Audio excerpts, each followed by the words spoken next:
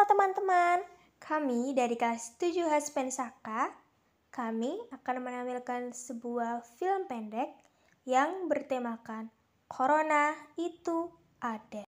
Pada suatu hari, ada sekelompok remaja yang sedang berkumpul tanpa mematuhi protokol kesehatan. Assalamualaikum. Waalaikumsalam.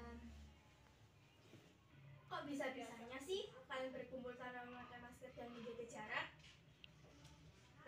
Harus menjaga jarak? Kenapa harus memakai masker? Kan corona sudah hilang. Banyak tuh. Eh, kata siapa bener?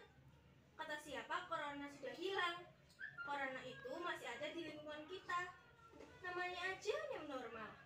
Artinya kita harus memulai kebiasaan baru, yaitu dengan menerapkan 3M, yaitu memakai masker, mencuci tangan, dan menjaga jarak.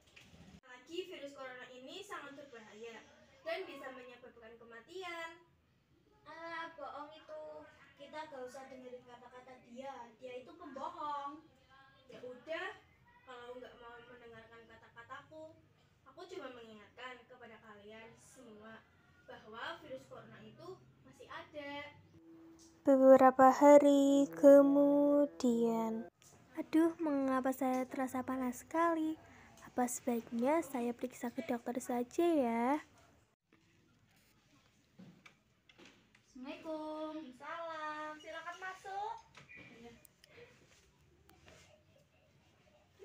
Kenapa saya demam dan saya tidak bisa merasakan apa yang saya makan?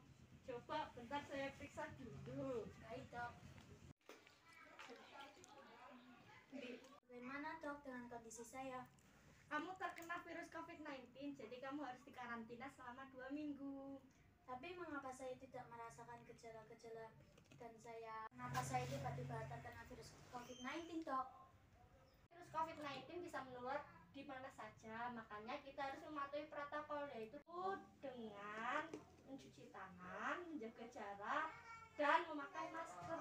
Oh, begitu ya, Dok. Halo teman-teman, kami dari kelas 7 Haspen Sangka ingin mengingatkan kalian untuk selalu menaati protokol kesehatan Maka dari itu dengan menerapkan 3M yaitu Mencuci tangan, memakai masker dan menjaga jarak. ya teman-teman.